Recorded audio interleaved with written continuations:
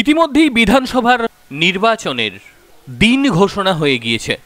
আর আমরাও বিভিন্ন বিধানসভায় গিয়ে খোঁজখবর নিতে শুরু করে দিয়েছি, সেই বিধানসভার প্রকৃত চিত্রটা ঠিক কী রকম রাস্তাঘাট থেকে পানীয় জল, স্বাস্থ্য ব্যবস্থা মানুষ পরিষেবা কতটা পেয়ে এসছে বিধায়কের কাছে মানুষ পরিষেবা পেয়ে কতটা সন্তুষ্ট?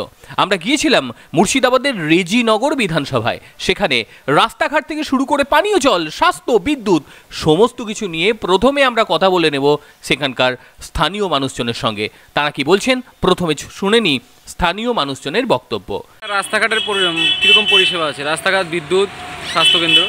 বিদ্যুৎ সাথে আপনার এখানে তো ভালোই চলছে। রাস্তাঘাট আপনার যা রোড বালান ভালোই মানে করিয়ে গেছে তারপর অলি গলি যেগুলান আছে সেগুলান আপনার পশ্চিমবাংলা সরকার যা খুব তোর দূরে অলি গলি সবই হয়ে গেছে কিছুটা বাকি আছে এখন কাজ চলছে পঞ্চায়েত থেকে। আপনাদের? জলের ব্যবস্থা আপনার ভালো আছে। গ্রামে আপনার সরকার থেকে একটা জলের ই করে দিছে। সেখানে থেকে সব গ্রামের লোক এখন খাচ্ছে আগে কিনে খেতাম সেটা আর কিনতে হয় না আমাদেরকে গ্রামে থেকে নিয়ে আসতে হয়। দিবেন কত? বিধায়ককে হ্যাঁ দশের মধ্যে কত দিবেন? বিধায়ককে এখন? বিধায়কের ওপরে এখন নির্ভর। যেরকম পাবলিকের সঙ্গে কারবার করবে সেরকমভাবে এরকম। আর বিধানসভায় রাস্তাঘাট পরিষেবা খুবই ভালো।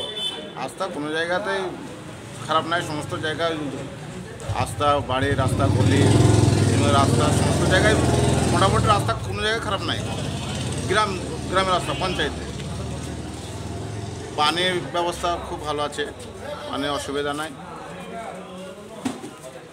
আমাদের অঞ্চল, আমাদের যে রিজনাল বিধানসভা, আমরা বেগুনমারা অঞ্চলের মধ্যে পড়ছি হ্যাঁ? আমাদের এখানে রাস্তাঘাট খুব ভালো।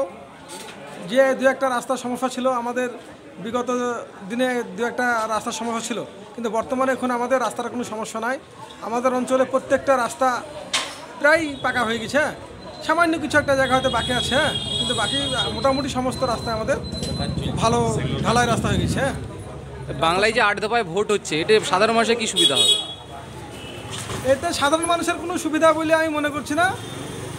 এটা বরঞ্চ সাধারণ মানুষের একটু অসুবিধা হবে কারণ কাজকর্মের ব্যাপার থেকে মানুষের আমরা খেটে খাওয়া মানুষ যারা খেটে খাওয়া মানুষ হ্যাঁ? তাদের দীর্ঘদিনে ভোট প্রতীক্ষা তাদের বসে থাকতে হচ্ছে হ্যাঁ? কিন্তু আমাদের এটা রাজনৈতিক এটা অ্যাকচুয়ালি এটা রাজনৈতিক উদ্দেশ্য উদ্দেশ্য পরিণত হবে আর দফায় ভোট পরিচালনা করা হয়েছে। আমি ব্যক্তিগতভাবে মনে করি হ্যাঁ। নাই। রাস্তা গলি রাস্তা সামথিং দুটো একটা হয়তো বাকি আছে। বাকি থাকলে থাকতে পারে। তাছাড়া সমস্ত রাস্তা হয়ে গেছে।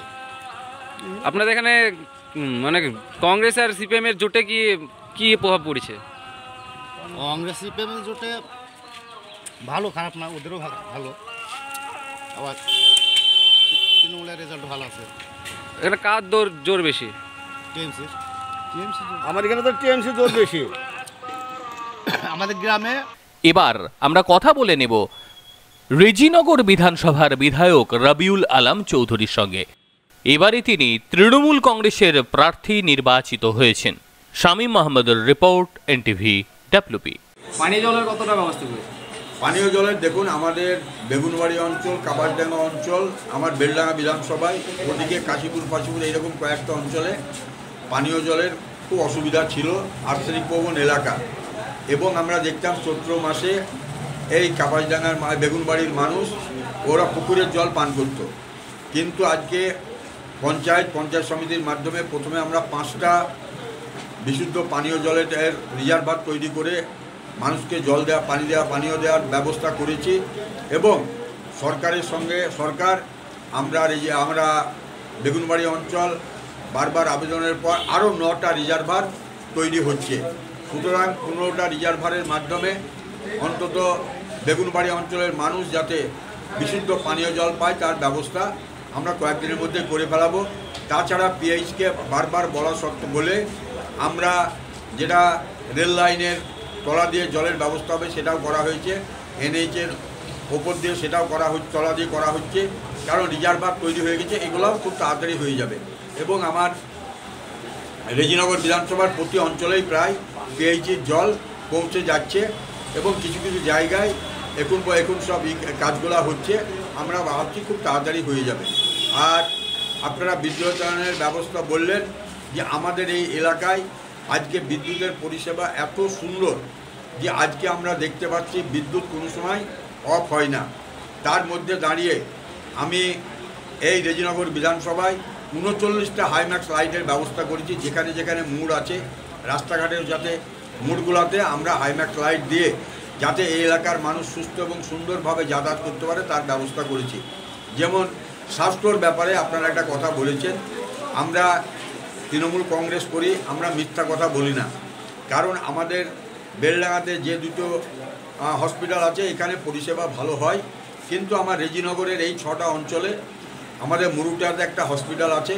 ওই হসপিটালটায় আগে কোনো ডাক্তার ফাক্তার থাকতো না, আমরা বলার পর এখন ডাক্তার বসছেন এবং আমাদের আরও একটু পরিষেবা যাতে রেজিনগরের ওই মুরুটিয়া হসপিটালে যদি ভালো হয়, কিছু বেডের ব্যবস্থা করা যায়, তাহলে আমরা আশা করছি আমাদের এলাকার আর কোনো অসুবিধা থাকবে আট দফা ভোট? আট দফা ভোটে দলের দলের কি সুবিধা হবে? দেখুন গোটা ভারতবর্ষের মধ্যে এই প্রথম আট দফার ভোট পশ্চিমবাংলায় হচ্ছে। আমরা পাশাপাশি দেখছি তামিলনাড়ুতে এক দফায় কেরলে এক দফায় আসামে তিন দফায় পন্ডিচেরিতে এক দফায় ভোট হচ্ছে। পশ্চিমবাংলায় বা রেকর্ড আট দফায় ভোট করছে। বিজেপি ভাবছে আট দফায় ভোট করে আমরা পশ্চিমবাংলার ক্ষমতায় আসব কিন্তু পশ্চিমবাংলার মানুষ অত বোকা নয়। পশ্চিমবাংলার মানুষ তৃণমূল ছাড়া কাউকে মানে ক্ষমতায় নিয়ে আসবে না।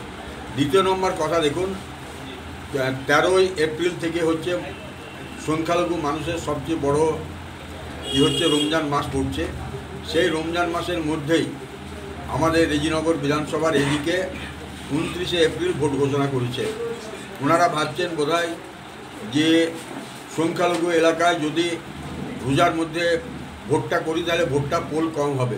কিন্তু ওনারা মূর্খের স্বর্গে বাস করছে। কারণ সংখ্যালঘু মানুষ এখন থেকে সিদ্ধান্ত নিয়ে নিয়েছেন যে আমরা তৃণমূল ছাড়া অন্য কাউকে ভোট দেবো না। রাস্তাঘাট জল বিদ্যুৎ স্বাস্থ্যকেন্দ্র কতটা আপনার বিধানসভা এলাকায় পরিষেবা দিতে পেরেছে? রাস্তাঘাটের ব্যাপারে আপনাদেরকে খুব পরিষ্কার কথা বলছি। গ্রামে গঞ্জের রাস্তাঘাটের অবস্থা অত্যন্ত ভালো।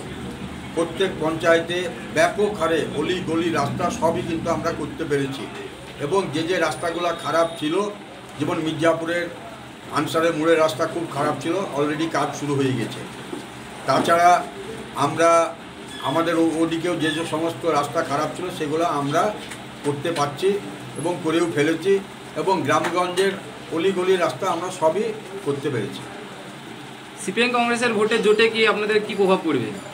দেখুন, সিপিএম কংগ্রেস পশ্চিমবাংলার ক্ষমতার জন্য ওনারা লড়ছেন না।